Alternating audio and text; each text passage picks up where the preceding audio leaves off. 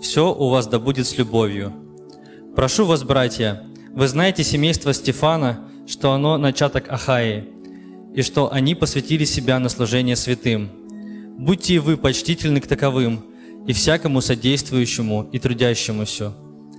Я рад прибытию Стефана, Фортуната и Ахаика. Они восполнили для меня отсутствие ваше, ибо они мой и ваш дух успокоили.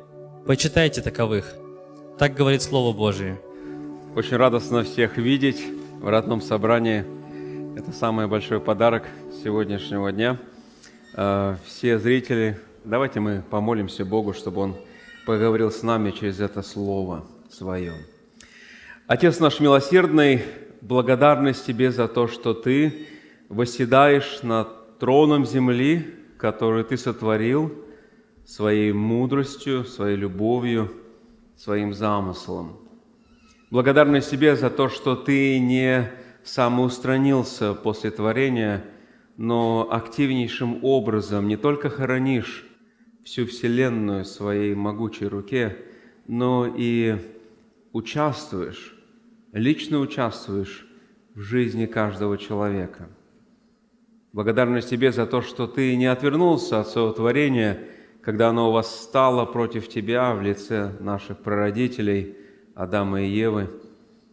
Ты не отвернулся от нас, э, бунтарей, повстанцев, гордецов и самохвалов – но Ты послал Своего Сына, Господа Иисуса Христа, который взял наш грех на себя и умер за наши грехи, и принял на себя Твой справедливый гнев, чтобы мы были прощены и были спасены.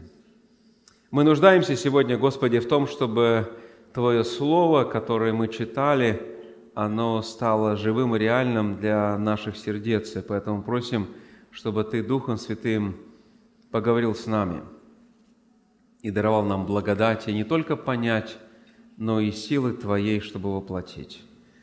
Господи, Ты сердцеведец, Ты знаешь, кто с каким сердцем сегодня находится на собрании, поэтому пусть Твоя благодать посетит каждого из нас и даруй каждому то, что принесет славу Тебе и пользу Ему. Во имя Отца и Сына и Духа Святого. Аминь. Пожалуйста, дорогие, занимайте свои места.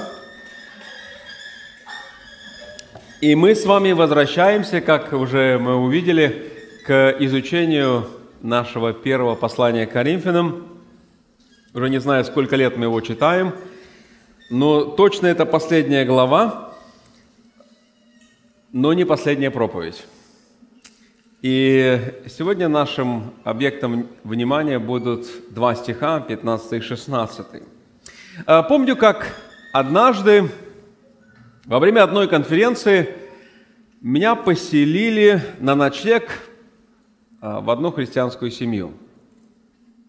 Мы сели ужинать вместе с домочадцами, и когда дети пошли спать, то я спросил у родителей, хозяев этого дома, как протекает их жизнь. Супруга, посмотрев на своего мужа и получив его такое молчаливое с помощью кивка одобрение, сказала, ну, скажем честно, первые пять лет нашей семейной жизни мы собачились, а потом стали жить душа душу. Я спросил, а что же произошло? И она ответила, мы стали ближе к Богу, мы духовно подросли, и любовь к Богу помогла нам изменить отношения друг к другу. Их духовная зрелость помогла росту их любви друг к другу.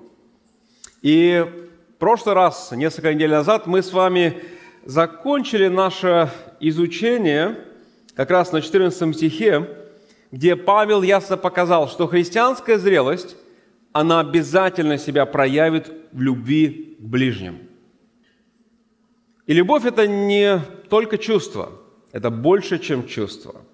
Это определенные действия. И когда любовь проявляется, то мы с вами продолжаем расти, расти в зрелости, духовной зрелости.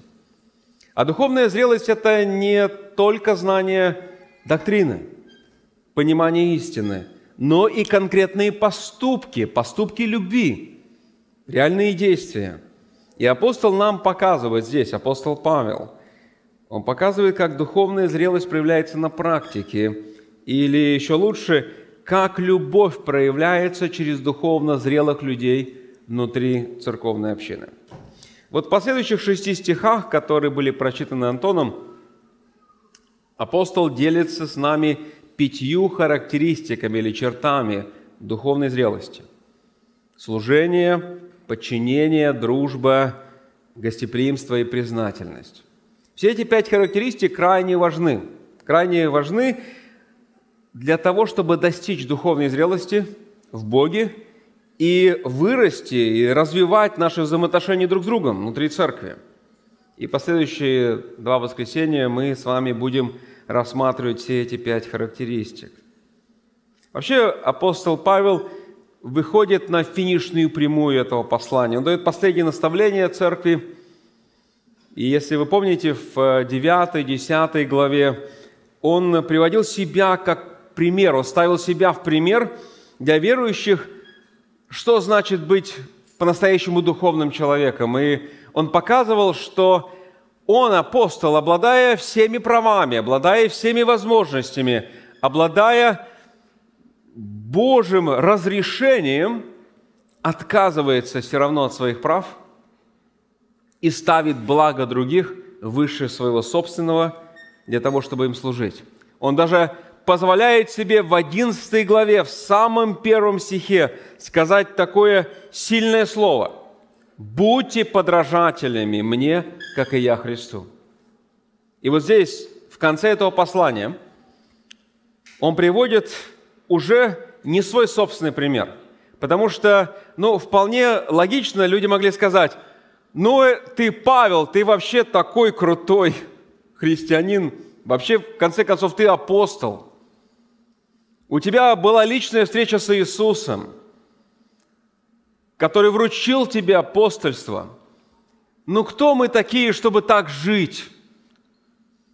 Это только для особо одаренных, особо уникальных, ну, подобных тебе. Мы всего лишь навсего Коринфяне. И апостол Павел приводит здесь, в конце этого послания, пример человека, который живет так же, как и он, не обладая каким-то высоким статусом или положением, не обладая какими-то уникальными дарованиями, не являясь апостолом. И он приводит пример человека, который является членом этой каринской общины. Я говорю о семье или семействе Стефана. Он показывает, как на примере этого семейства, это мужчины и женщины – Э, взрослые, младшие, наверное, это и рабы, и работники. Вот как это большое семейство проявляет духовную зрелость конкретных поступках любви. И сегодня мы посмотрим на две характеристики духовной зрелости. Во-первых, это стих 15. Смотрите, как апостол пишет, Прошу вас, братья, это не только мужчины, это вся церковь, вы знаете семейство Стефанова, что оно есть начаток Ахаи, и что они посвятили себя на служение святым. Итак, мы видим, что Стефан и его семья были первыми новообращенными или первыми спасенными, уверующими христианами Павла там, в Ахае, это провинция, которая, греческая провинция, в которой находился город Каринф – мы, кстати, даже если перенесете сейчас на самую первую главу этого послания, то вы увидите, что это семейство тоже упоминается. Первая глава, стих 16, э, Павел пишет, «Крестил я также Стефана в дом, а крестил еще кого не знаю». То есть мы знаем, что Павел даже крестил их. Итак, что мы знаем из этого 15 стиха про это семейство? Мы видим, что они посвященно служили. И тут несколько нюансов. Во-первых, это вопрос благовестия. Смотрите, Стефа, семья Стефана была одной из первых, кто поверил в Евангелие в этом регионе. И Павел увидел в них, увидел в них обещание будущего богатого духовного урожая. Он называет их начаток или буквально первые плоды. Не просто первые новообращенные, но те, с которых Бог начал спасать этот регион. Те, через кого Бог начал действовать в этой местности. Они не просто новообращенные, не просто уверовавшие, но они начаток, первые плоды этой Божьей работы там. Павел даже крестил их, и, вероятно, хорошо знал эту семью, и они сообщали ему о жизни церкви также. Итак, дом Стефана стал начатком еще, еще в одном смысле. Он стал начатком э, в том э, смысле, что они показали подлинные плоды евангельской веры – они не просто себя отожествили с, верами, с верующими, они не просто крестились, чтобы, ну, вдруг сработает, вдруг я, ну, получу какое-то благоволение неба, как многие сегодня наши соотечественники крестятся и не понимая до конца, почему и зачем. Они показали, это семейство Стефана показало реальные плоды, плоды подлинной, настоящей, живой веры. Если бы сегодня в нашем народе – те люди, которые называют себя христианами, были таковыми, мы бы испытали бы невероятное духовное обновление. Вот эти люди, это дом Стефанов, они по-настоящему были верующими. Ведь прошло уже немало времени с того момента, как они уверовали, с момента их обращения, и Павел ставит их пример. Пример для подражания – и поэтому поместная церковь там, в Каримфе, точно росла не без их участия. И как мы видели в этом послании, немало людей обратилось к Богу. Несмотря на все противостояния и трудности, которыми Павел столкнулся в Греции. Мы хорошо помним, что совсем немного людей уверовало после его проповеди в Афинах. И когда он пришел в Каримф, то столкнулся с серьезным противостоянием или противлением местных иудеев – и тогда он обращается к язычникам. И вот Стефан стал одним из первых, кто уверовал. Вообще можно заметить, что Павел никогда не останавливался в своем благовестии, несмотря на препятствия, несмотря на противление, несмотря на опасности, несмотря на трудности. Почему? Потому что любовь не прекращает жертвовать ради спасения других. Любовь готова отдать себя ради спасения других, подобно как Иисус отдал себя на крестную смерть ради нашего с вами искупления. Любовь всегда делает первый шаг, и любовь готова расстаться жизнью ради спасения других. Это делал Павел. И очевидно, что также стали поступать эти новообращенные из дома Стефана. Они благовествовали другим, и церковь в Коринфе росла – так происходит сегодня в нашем городе. Через многие семейства в нашей церкви, подобно Стефановому семейству. И хорошо сегодня задать себе вопрос. Сегодня, кстати, сократили время свидетельств до пяти человек. Хороший вопрос задать себе сегодня. Кому вы сегодня благовествуете? Ведь благовестие – это ДНК духовно здоровой церкви и христианина – это точно проявление любви к своему ближнему. Самую лучшую любовь, которую я могу дать человеку, это рассказать ему о Божьей любви, которую Бог явил на кресте Голгофы через смерть своего Сына. Это самый лучший подарок, который я могу дать человеку, поделиться спасительным Евангелием. Это самая лучшая новость, новость, которая сегодня должна заполнить все мониторы в нашем обществе, которые должны заполнить наше сердце, наш разум. Это то, что Бог возлюбил этот мир и отдал своего Сына Единородного, дабы всякий верующий в Него не погиб, но имел жизнь вечную. Поэтому хороший вопрос для нас всех. Сегодня кому я благовествую? Кто сегодня является частью моей молитвы? Во-вторых, мы видим, что дом Стефана самоотверженно служил уверовавшим Коринфянам. В стихе 15 говорится, что семья Стефана посвятила себя на служение святым. Вообще интересно, что сам глагол «посвятили» можно перевести как «избрали». Они сами избрали, чтобы служить своим братьям и сестрам христианам. Это было добровольное решение. Ими двигала любовь, ведь любовь всегда замечает нужды тех, кого мы любим. И она готова пожертвовать собой ради того, чтобы помочь любимым. Дорогие мои, у нас всегда есть время для любимых людей. У нас всегда есть желание заняться любимым делом – нас не надо уговаривать, не надо упрашивать. У нас всегда есть сила, время, желание делать то, что любим, делать тем, кого любим. Его всегда замечает нужды тех, кого любит. И семейство Стефана никто не выбирал. Никто не назначал им, никто не платил зарплату за это.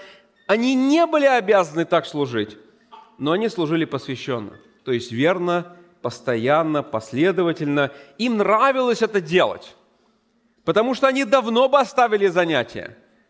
Если тебе что-то не нравится, ты не будешь это долго делать. Но они занимались этим, и мы видим продолжительное время, с момента, как они обратились к Богу. Они просто отдали себя этому труду. Он стал для них привычным делом. Им, им не нужно, их не нужно было уговаривать, объяснять, побуждать. Для них служить верующим стало так же естественно, как дышать. Стефан видел нужду и просто начинал служить. Его не нужно было убеждать или указывать на эту нужду. Он видел возможность и ее использовал. И поэтому важный урок для нас всех. Нам не нужно ждать, когда нам укажут на какую-то нужду. Нам не нужно ждать, когда нас назначат, чтобы мы занимались чем-то, нам не нужно ожидать, когда нас выберут, чтобы мы стали ответственны за то или иное дело. В христианской общине, в нашей общине много разных нужд. Вокруг нас немало нужды. Мы должны просто начать служить нашими способностями, дарованиями, там, где мы видим нужду, или там, где мы видим возможности. Кстати, один из самых выразительных переводов, выразительных переводов слова «посвятили» или посвященный, это пристра... пристрастились. Пристрастились. Семья Стефана буквально пристрастилась к служению святым. Это была, если хотите, их зависимость. Сделать что-то хорошее для верующих. Они не могли поступить иначе и поступать иначе. Вообще из ассоциации со, вот с наркотиками термин «зависимость» не является, конечно, положительным, не несет такую э, ну, положительную лексическую нагрузку, но он хорошо описывает служение этой семьи, семьи Стефана, о которой говорит здесь Павел. Ведь э, вообще сам апостол, апостол Павел был зависимым человеком от служения Господу. И он целенаправленно призывает всех здесь, Коринфям, всех своих читателей, а значит, и нас с вами, быть такими же, как и он. Павел жаждал совершать труд Господень. Это стало его привычкой, настоящей страстью его сердца. Чем больше он служил, тем больше он испытывал побуждение служить. Его стремление угождать Господу и прославлять Его всем, что у него было, приводило к тому, что апостол не довольствовался достигнутым. Он хотел сделать лучше. Он хотел сделать больше он хотел двигаться дальше. Он стал зависимым от служения Господу, чтобы просто функционировать. Он не мог нормально жить, если бы не был занят каким-то нужным делом для Бога, для народа Божия, церкви, для неспасенных людей.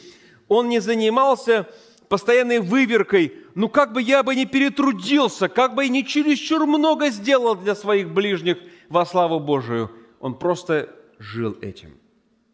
Помните, как он говорит верующим в Филиппах такие слова? Это первое послание к филиппийцам со стиха 21. «Ибо для меня жизнь Христос и смерть приобретение. Если же жизнь во плоти доставляет плод моему делу, то не знаю, что избрать. Влечет меня то и другое. Имею желание разрешиться и быть со Христом, потому что это несравненно лучше, а оставаться во плоти нужнее для вас. Вы слышите, дорогие? Он хочет жить на небе, но готов остаться на земле не потому, что он не посетил все страны, все курорты, не потому, что он не испытал еще все удовольствия, не потому, что он не успел получить ту или иную вещь, не потому, что он не оказался там или здесь, а потому, что он может послужить своим братьям и сестрам. То есть его желание быть живым на земле связано не с ним, а связано с тем, чтобы позаботиться и сделать благо, принести благо, сделать добро те, которые являются его братья и сестры. Совсем другая логика, совсем другая парадигма жизни, но это самая счастливая парадигма жизни. И апостол Павел многократно показывает нам, что только те, которые живут во славу Божию ради блага других, только те испытывают подлинное удовлетворение, счастье, наслаждение жизни, в отличие от тех, которые живут ради себя и никак не могут напитать свою душу, никак не могут испытать удовлетворение, никак не могут найти подлинного счастья, потому что в центре их мышления они сами. Но как только там оказывается Господь и мои ближние – что-то невероятное происходит со мною. Бог дает мне испытывать удовлетворение. Бог дает мне испытывать наслаждение. Бог дает мне испытывать подлинную радость. Ибо блажение давать, говорит Иисус, нежели принимать.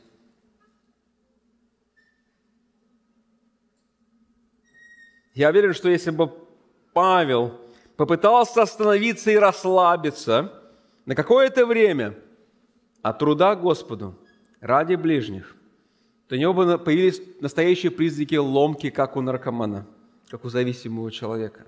Но Павел не был трудоголиком. Трудоголик – это тот, который работает ради работы.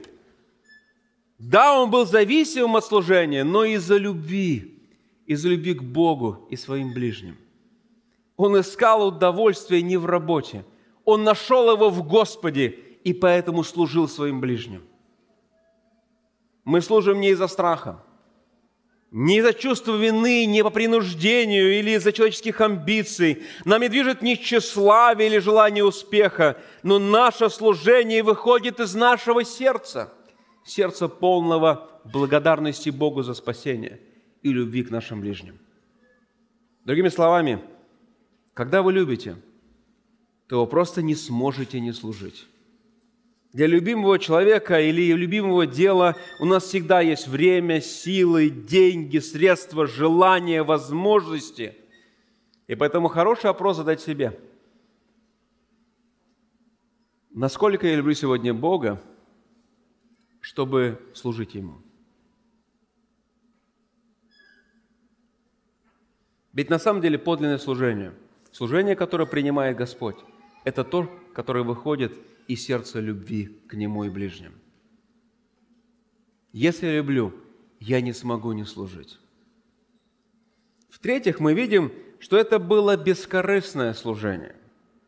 Дом Стефана посвятил себя служению святым. Они отделили себя для этой цели. Они были полны решимости служить. Это было добровольное, охотное служение. Оно не совершалось по принуждению, это было радостное даяние. Они наслаждались служением – наслаждались заботой о других. Они решили для себя так жить, чтобы быть полезным верующим.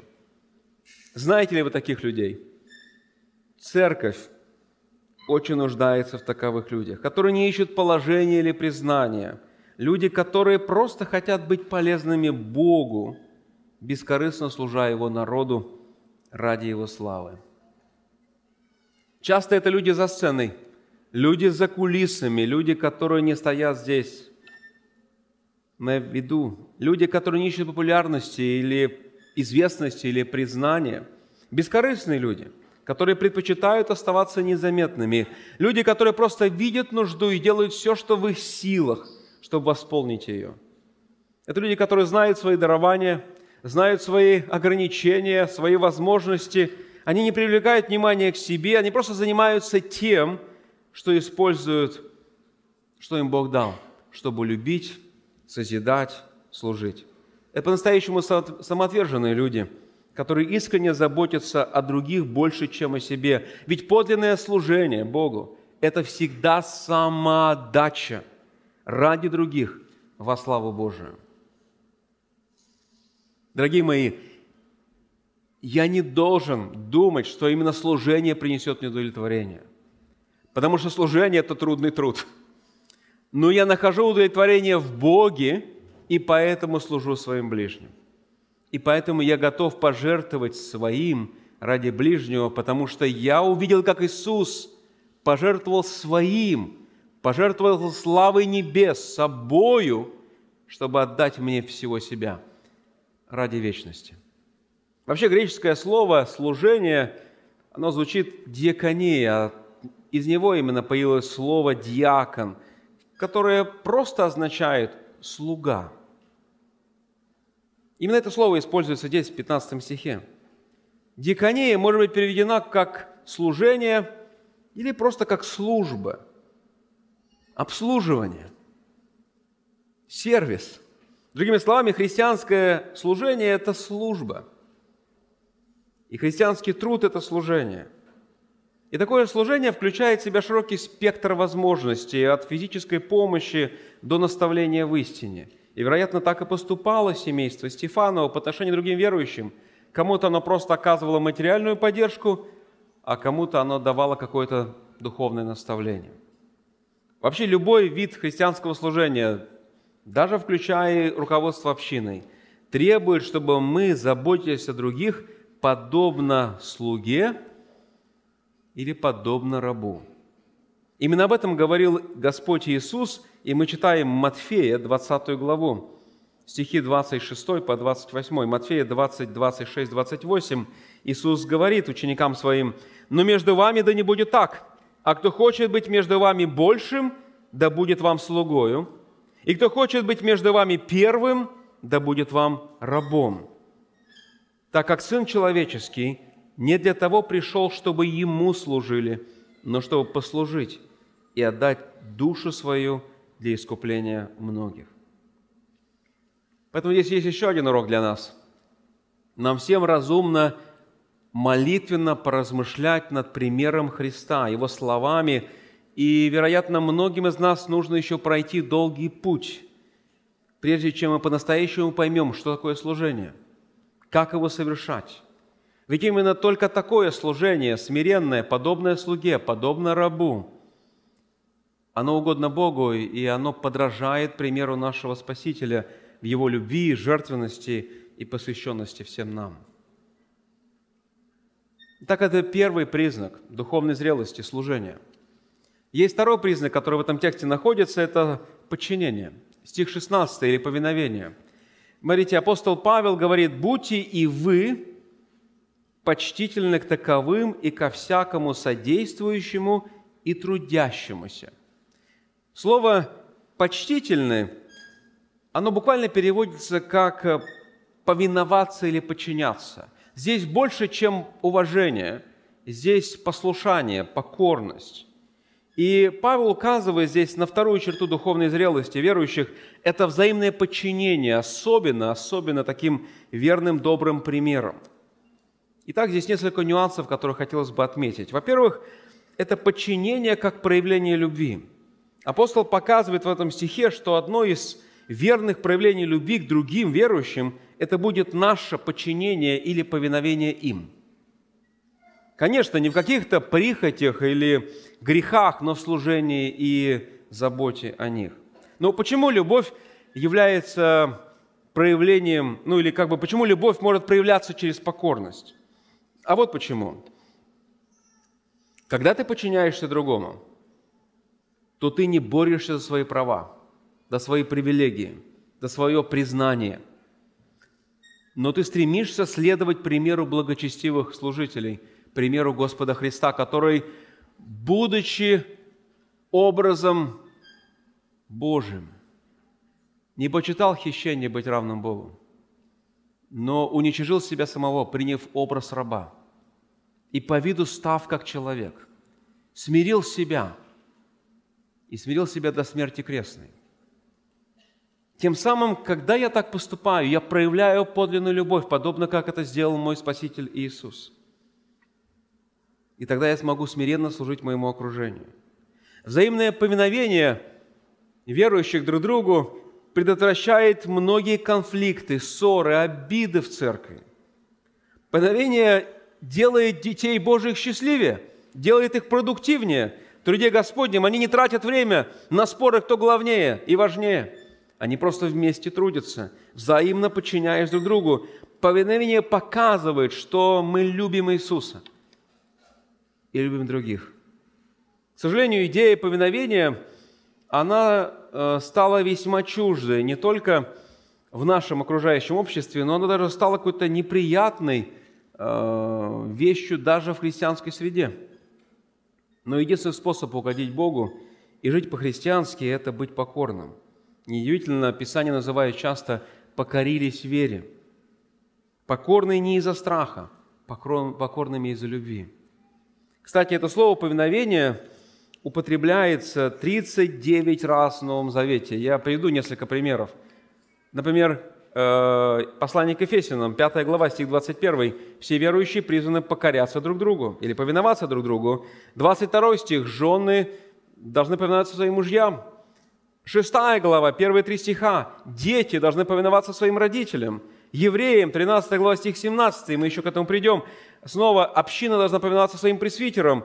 Тит, 2 э, глава, стих 9, работники повинуются своим работодателям. Римлян 13 глава, 1 стих, верующие повинуются государственным законам.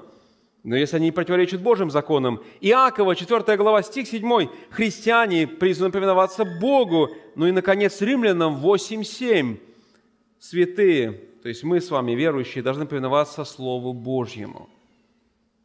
Повиновение или подчинение – это нечто естественное для христиан. Каждый из нас должен повиноваться своим окружением в тех отношениях, которые Бог нам описывает ясно в Своем Слове. Подчинение, то есть почтение, сотрудничество, преданность, смирение, уважение должно присутствовать во всех отношениях, где мы с вами оказываемся, в каком месте бы ни оказались. Ну, что это значит покориться на практике или покоряться на практике?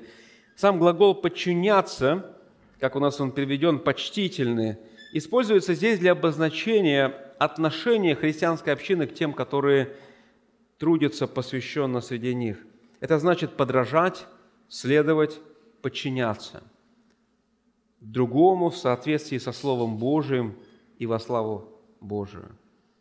Итак, Павел как-то сказал, 11 глава, 1 стих нашего послания, «Будьте подражателями мне, как я Христу». А послание к евреям мы читаем, 13 глава, стих 17. «Повинуйтесь наставникам вашим и будьте покорны, ибо они неусыпно пекутся о душах ваших, как обязаны дать отчет, чтобы они это делали с радостью, а не воздыхая, ибо это для вас не полезно». А Иисус однажды сказал это, Лука 6,40, Ученик не бывает выше учителя своего, но усовершившись, будет всякий, как учитель его. Вот смотря на все эти тексты, смотря вот так вот обзорно на все эти 39 употреблений слова повиновения или подчинения этого слова из 16-16 стиха, становится понятна одна вещь. Нам разумно, буквально каждому из нас – разумно найти того, кого мы, кому мы будем повиноваться, чтобы достигать духовной зрелости. Того, с кого мы могли бы брать пример христианской жизни, который, который, и которые сами являются пример покорности Богу и Его Слову. Правда, не ищите идеального примера, не ищите идеальных и совершенных людей, просто потому что их нету – только Иисус был идеальный, совершенный, безукоризненный, безгрешный. Но ищите тех, которые стремятся искренне подражать и угождать Христу. Особенно я скажу тем, которые думают, что они являются примером. Вам также нужно учиться быть покорными, иначе вы перестанете быть таким примером. Интересно то, что современные коучеры или менторы и менторы в окружающем нас мире рассказывают людям, как раскрыть свой потенциал, как найти свой потенциал. Ну что, в принципе, неплохо. Помочь человеку разобраться в себе. Но Библия показывает, что суть подлинного наставничества – это не помочь человеку найти себя и понять себя, а уподобляться Христу. Ведь только когда я уподобляюсь Христу, я становлюсь не лучшей версией себя. Для Бога это мало. Я становлюсь подобным лучшей личности во Вселенной, Господу Иисусу.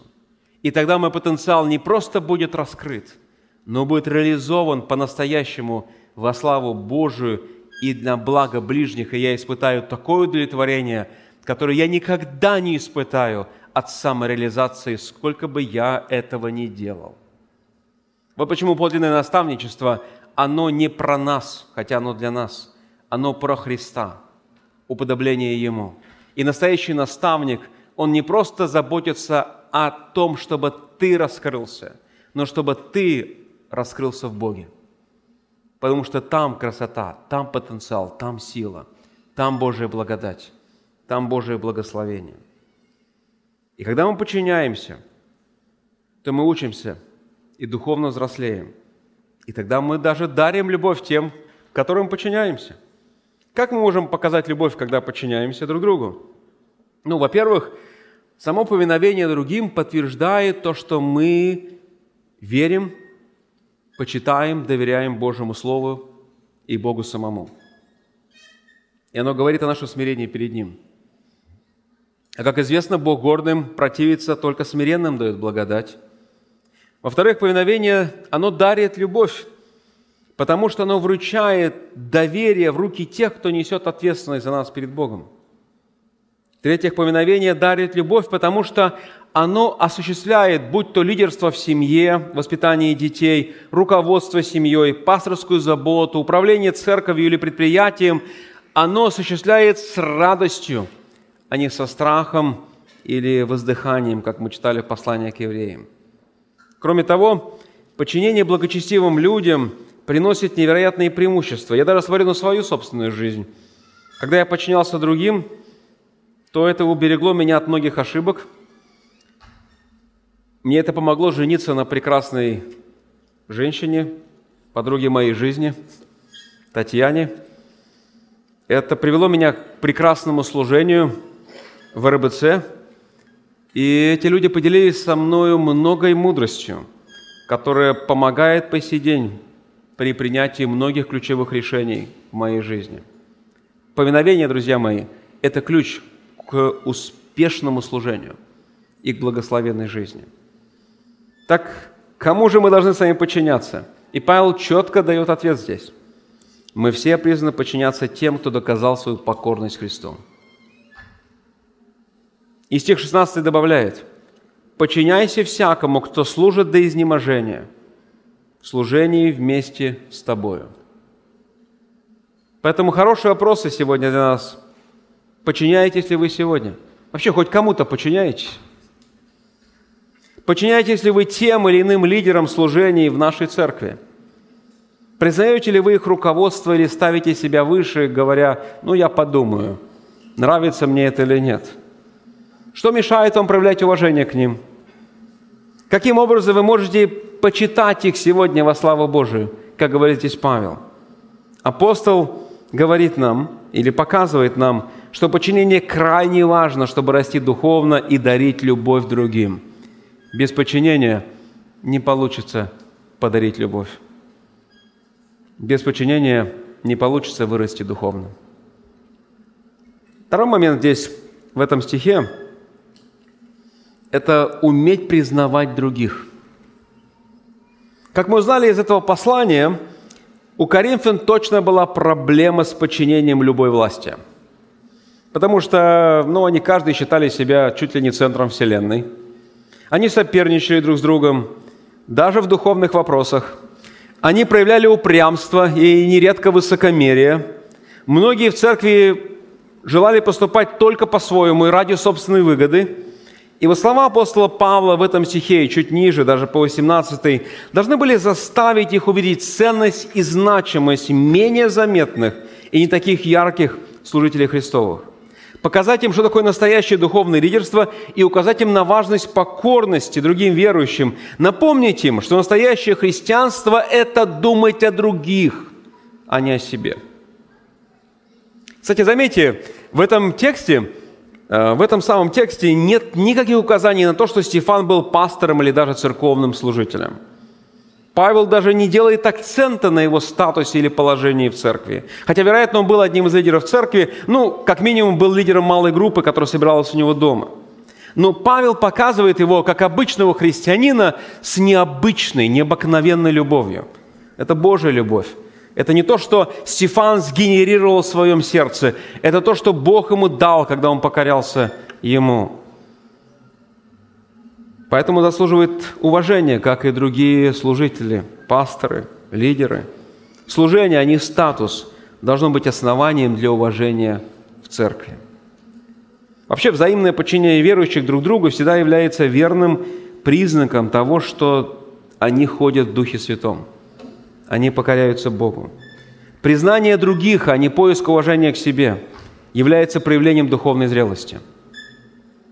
Признание других – а не только поиск, чтобы признали тебя. Поэтому спросите себя сегодня такие простые вопросы. Легко ли вам принимать лидерство, руководство тех, кто не обладает высоким статусом в церкви? Или давайте еще усилим. Или э, лидерство того, кто в ваших глазах по каким-то человеческим параметрам ниже, чем вы – ну хотя бы просто ниже ростом, чем вы. Ну, который, может быть, не так красиво одевается, как вы, или не так много зарабатывает, как вы, ну, нет у него дипломов, или не так он умеет Библию изложить, как вы. Но вот можете ли вы принять руководство, лидерство человека, который в ваших глазах хуже, чем вы? Я помню, как один приезжий отказался, приезжий брат, надеюсь, что брат, отказался проходить программу «Основа веры» до конца, потому что ее вел какой-то новообращенный по имени Ярослав. Ну, вы знаете, какой Ярослав. Кстати, Ярослав, ты в церкви здесь, на собрании? Я не вижу. На основах веры, да, он сейчас? А, вот он. О, слава Богу. Видите, тут, бьют меня сателлиты, я не видел. Так вот, Ярослав, про тебя это. Который в церкви тогда был всего лишь навсего пять лет.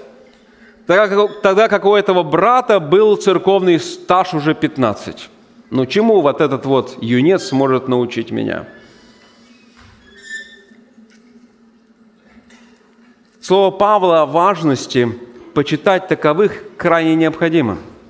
Ведь нередко добровольные усилия одаренных мужчин и женщин, братьев, сестер – не почитается другими с радостной благодарностью, и, надо признаться честно, порой вызывают недоверие и даже зависть. И это, надо честно тоже сказать, вызывает ну, трудности, затруднения, в конце концов, э, в их служении.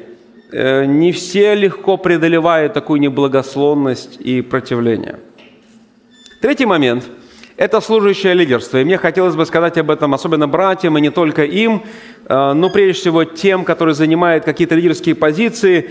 Павел приводит пример семьи Стефана, чтобы показать, как должно выглядеть духовное лидерство.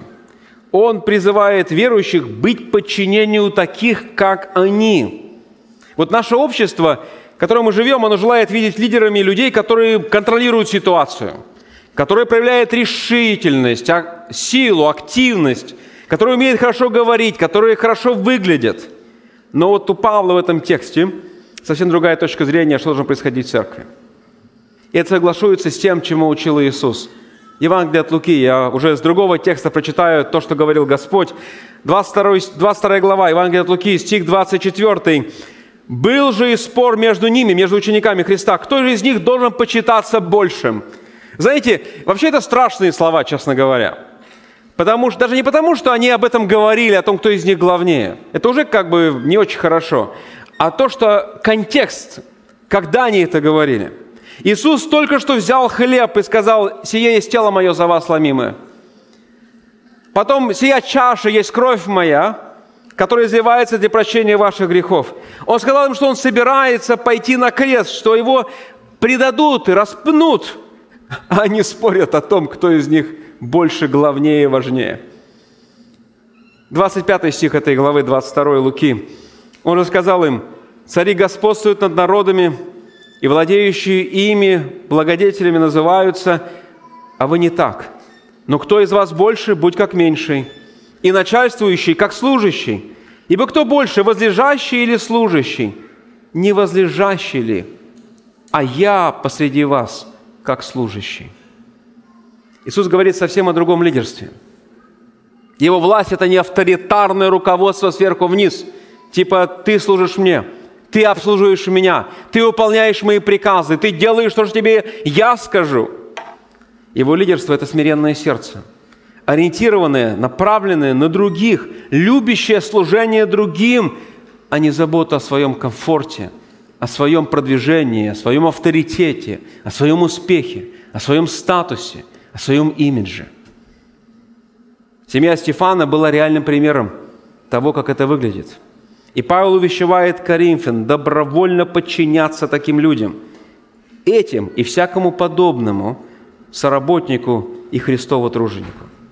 Мы, кстати, встречаем э, в другом послании Павла, послании к филиппийцам, пример еще одного соработника церкви, который приносил большую радость апостолу, который служил в его нуждах, и которого также следовало почитать, и которому следовало подражать. Филиппийцам, вторая глава, это пример Эпофродита – я читаю с 25 стиха.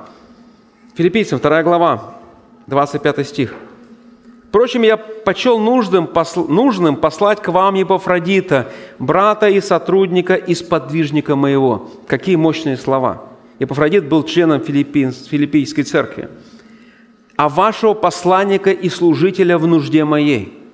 Потому что он сильно желал видеть всех вас и тяжко скорбел о том, что до вас дошел слух о его болезни – Ибо он был болен при смерти, но Бог помиловал его, и не его только, но и меня, чтобы не прибавилась мне печаль к печали».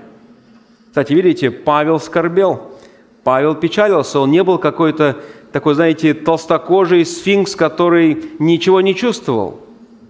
Он был живым, он был реальной личностью.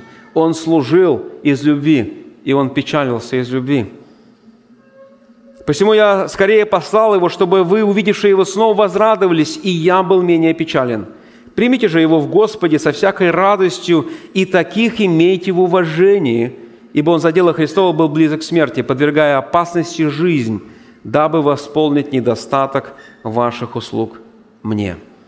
И Пафраз, как и Стефан, был самоотверженным слугой, ставил других выше себя – восполняя недостающее и принося радость тем, кому служил.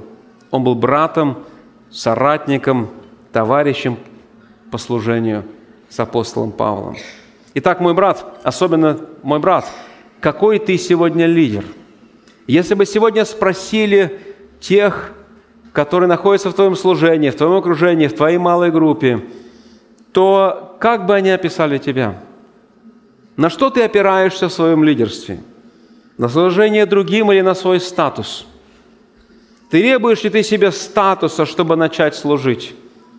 Ищешь ли ты, что же тебе предложит церковь, чтобы это тебя как бы удовлетворило? И ты тогда бы стал бы служить, или ты просто служишь, потому что любишь Божий народ – даже не имея никакого статуса, даже не имея никакого предложения. Но в конце концов Бог тебе уже предложил спасение. Что еще больше тебе может предложить церковь? И когда я слышу, но мне не предложили, при чем здесь мы? Когда Иисус уже предложил себя в жертву ради нашего искупления, твоего и моего. Уже достаточно, чтобы начать служить, смиренно служить другим. Покорность любому христианскому труженику не приходит по причине его роли или положения в церкви, общественного признания или социального статуса. Она приобретается благочестивым характером и смиренным верным служением. Кстати, кажется, здесь э, в этом тексте есть игра слов. Уж позвольте мне и воспользоваться немного древнегреческим текстом, но слово «посвятили» это на греческом звучит как «тассо», а почтительные или покорные – это «упостаса». Вот Стефан и его домашние, ну, в числе которых, вероятно, входили мужчины, женщины, свободные, рабы, они упорядочивали и организовали, или организовали то есть Стаса, свою жизнь так, чтобы посвятить ее служению Божьему народу, большему служению. И Павел пишет, что коринфяне должны подчиняться хупостаса таким людям и всем, кто участвует в служении, то есть соработникам, которые показывают пример такого труда. Вообще намного легче покоряться смиренным труженикам, чем самоуверенным активистам. Поэтому здесь три финальных наблюдения – Смотрите, вместо статуса или титула для Стефана Павел использует два деепричастия, которые описывают его евангельское служение, и не только его, но и остальных людей в этом 16 стихе. Во-первых, он говорит содействующему, συνεργός, содействующему, то есть работающему с кем-либо, работающему вместе, сотрудничающему. сотрудничающему. Итак, Павел употребляет этот термин. Вообще он любит этот термин очень сильно – соработник – синергос. Много раз в его посланиях мы встречаем это слово по отношению к мужчинам и к женщинам, которые трудились вместе с ним. И вот некоторые из этих соработников Павла. Я не буду давать ссылки из Писания, просто имена. Прескила и Акила, Урбан, мы его помним посланию к римлянам, Тимофей, Тит, Епафродит, Еводия, Синтихия, Климент, Аристарх, Марк, Юст – Филимон, Марк, Аристарх, Лука. И к этому списку мы можем добавить Стефана, и чуть позже будем изучать Фортуната и Ахаика. Многие из этих людей, они не были церковными служителями, официальными пасторами церквей. Поэтому еще раз подчеркну этот урок для нас. Нам не требуется обрести какое-либо значимое положение в церкви или получить какое-то официальное назначение, чтобы начать служить и быть подлинными служителями Евангелия, служащими Христу, Его церкви, другим людям. Мы можем начать служить прямо там, где мы есть, сейчас, как это делали братья и сестры из дома Стефана. Потому что мы не ищем положения или признания, мы ищем возможности проявить любовь через служение. Во-вторых, второе причастие – это трудящемуся. Это говорит о серьезном труде – о посвященном труде, о труде до изнеможения, о нудном труде. Именно это слово апостол использует для описания своего служения и служения других людей, соработников, которые были с ним. Например, в нашем послании, в главе 15, в стихе 10, он пишет так, 15.10, 1 Коринфянам, «Но благодатью Божию есть то, что есть, и благодать Его во мне была тщетна, но я более всех их потрудился. Вот наше слово. Не я, впрочем, а благодать Божия, которая со мною. Вот некоторые люди рассматривают э, служение в церкви как такую, знаете, религиозную карьеру.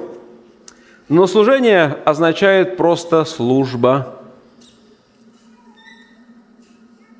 Служба, причем она, скорее всего, будет болезненная, некомфортная и просто тяжелая – ведь слово «трудиться», оно буквально означает изнемогать или чувствовать усталость.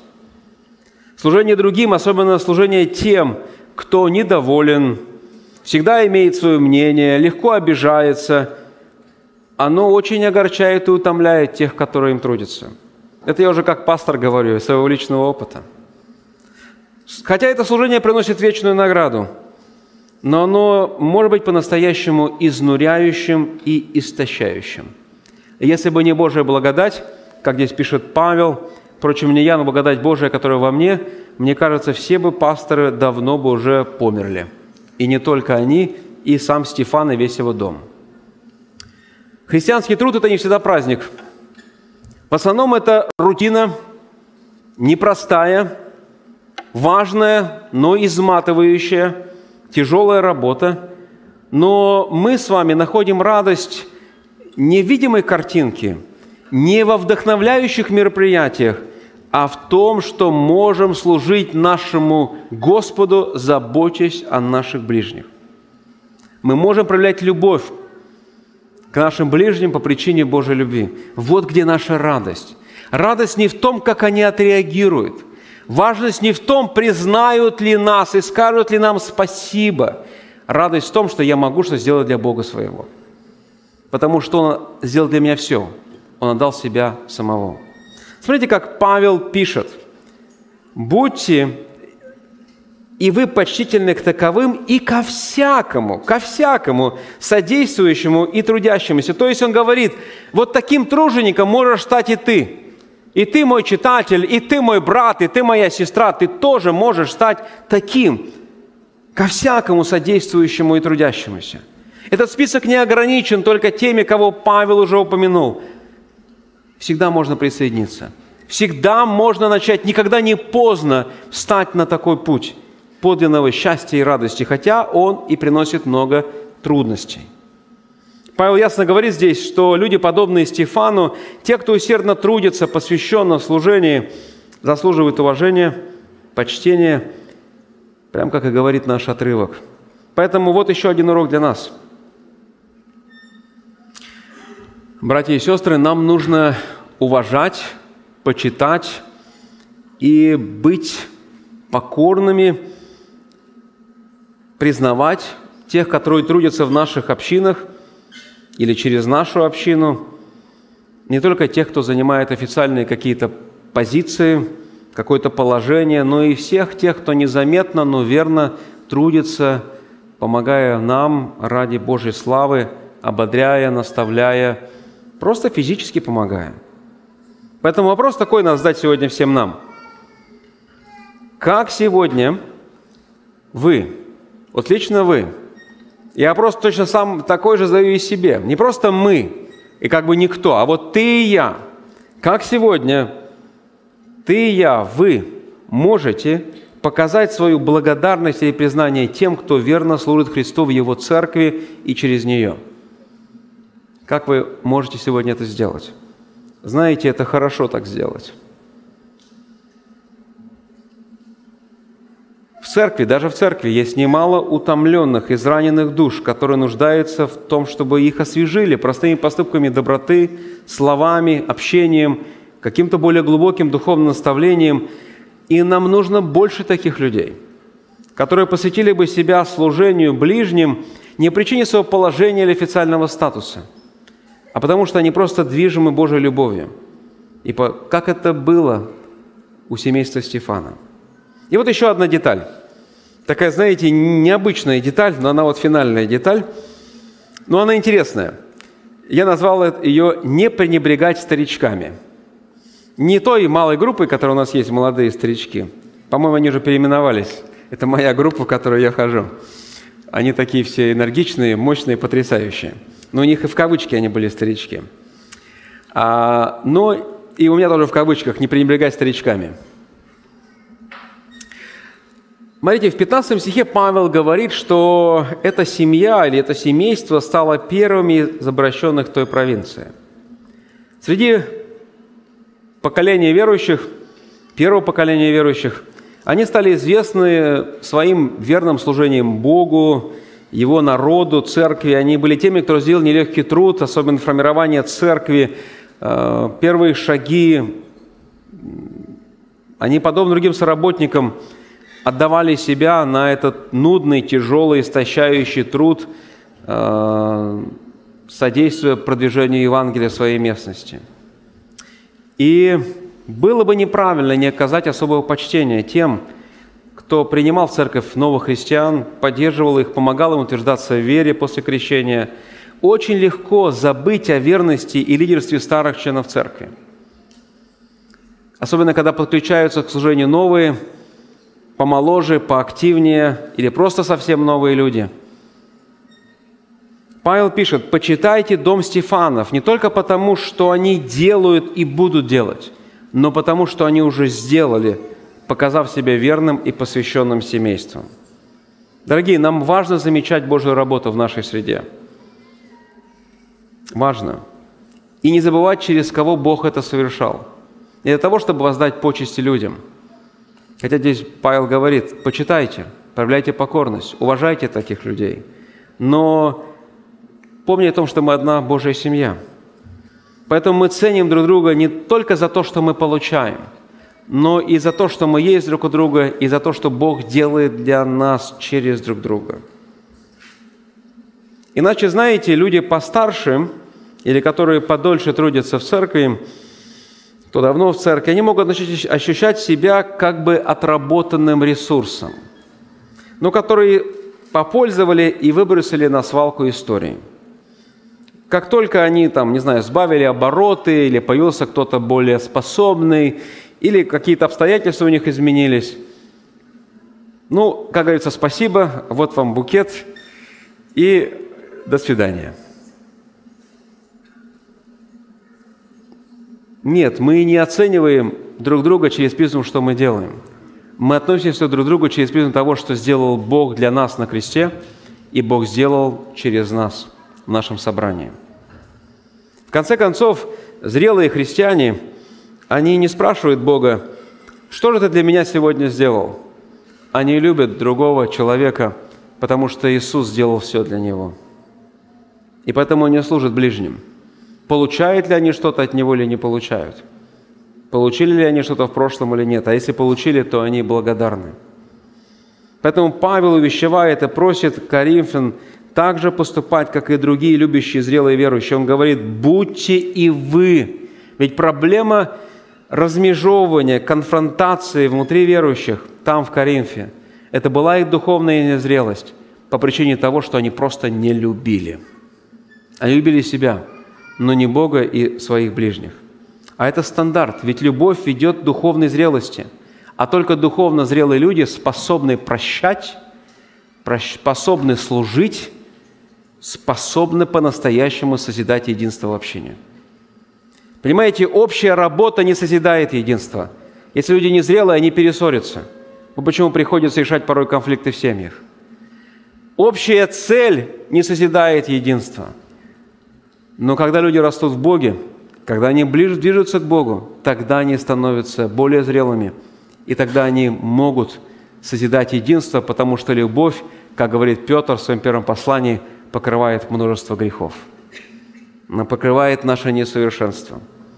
Потому что мы взаимно подчиняемся друг другу теперь, принимаем друг друга и любим не из-за того, какие мы, а из-за того, какой Иисус, что Он сделал для нас – и делает в нашей жизни сейчас.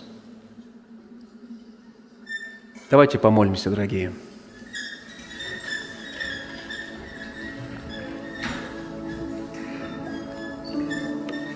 Отец наш милосердный, благодарность Тебе за Твое живое Слово и за прекрасные примеры а, нашего брата Павла, которого мы изучали уже столько много лет – его пример посвященности любви к Тебе, его жажды и страсти прославлять Тебя и расширять Твое Царствие.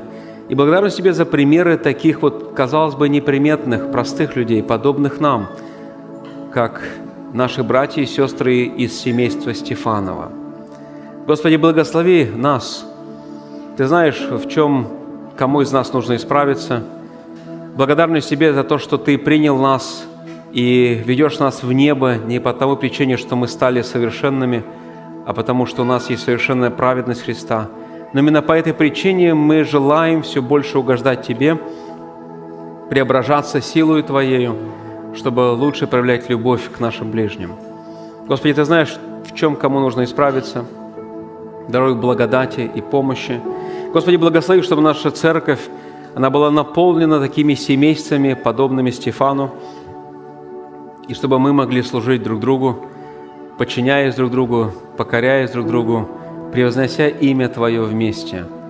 Также в этот город был наполнен Твоей спасительной истиной, и люди могли глазами своими увидеть проявление настоящей любви. Господи, благослови нас, ибо в этом есть подлинное наше счастье и радость жизни.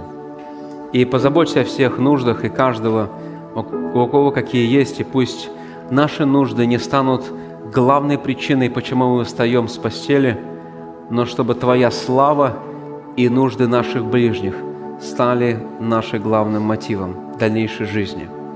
Да будет имя Твое благословенно ныне и во веки веков. Аминь.